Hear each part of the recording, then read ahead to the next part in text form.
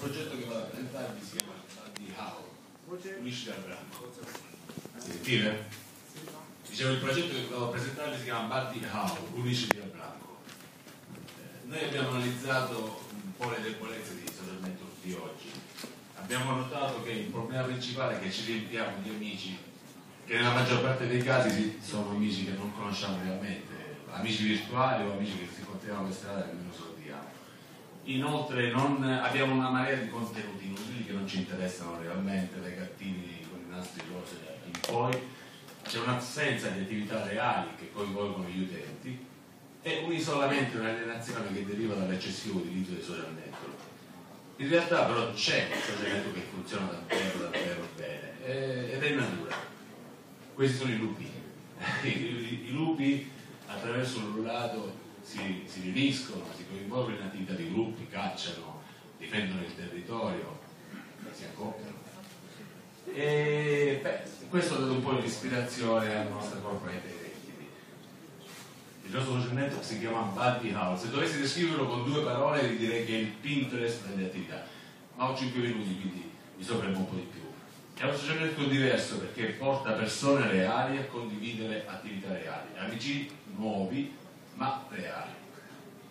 Lo fa in modo veloce, sicuro e semplice. Semplice perché comunque un'interfaccia, stiamo progettando un'interfaccia che sia user friendly. Veloce perché abbiamo progettato uno streaming, uno stream di house o di ululati che ci permette di tenere immediatamente sott'occhio tutte le attività di nostra pertinenza è sicuro perché abbiamo sviluppato un sistema di ranking e di verifica dell'identità attraverso sia un sistema in-house che appoggiandoci ad API come quelli di TransCloud che ci permettono di definire un utente realmente eh, verificato e un sistema di ranking che permette di dare a ogni utente delle, delle caratteristiche che vanno dalla, dalla votazione della sua generosità, ospitalità, affidabilità, simpatia e conversazione culturale. Un aula, ovvero un ululato, è composto in realtà di quattro semplicissime informazioni. Noi le abbiamo trascritte sul where, when, what, who. E non hanno bisogno di molta spiegazione, in realtà ci interessa sapere il luogo dove si svolge l'attività, quando, che tipo di attività si svolge, magari con la descrizione testuale, e il branco che coinvolge, ovvero può essere diretta a tutti, può essere diretta soltanto ad alcuni tipi di utenti in base ai loro ranchi o in base ai loro interessi. Questo è l'esempio di un, di un aula.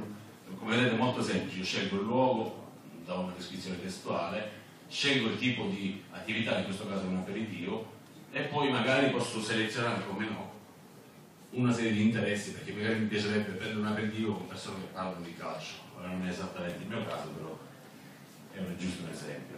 Questo è un mock-up del wireframe del, dell'home page, eh, lo stiamo ancora testando e realizzando, però in linea di massima vogliamo un po' ispirarci a Pinterest, come dicevo prima, cioè dare una, uno streaming di tutti gli ululati che in qualche modo ci possono coinvolgere, quindi che sono localizzati per la nostra città o, o nella città in cui viviamo o in quella in cui ci stiamo per recare, ad esempio.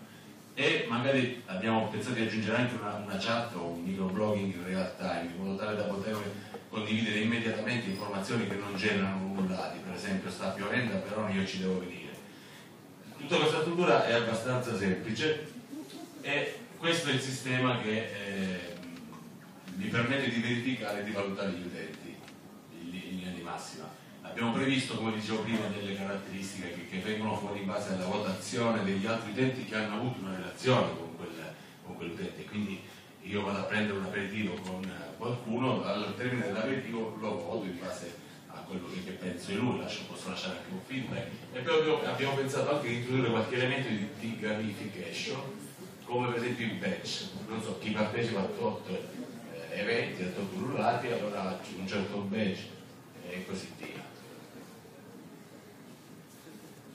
In realtà questo è l'obiettivo a cui stiamo puntando. Se voi per esempio, eh, magari lo potete fare nella prossima startup weekend, aveste messo il bottone How It mio startup weekend, io semplicemente premendo quel bottone, intanto avrei, intanto avrei condiviso l'informazione nei vari social network e poi avrei lanciato un unico rullato che mi avrebbe permesso di trovare un compagno di viaggio per venire da Trieste a Verona e quindi condividere le spese di viaggio, conoscere in anteprima le altre persone che avrebbero partecipato a questo evento, magari erano nel mio branco, incontrare successivamente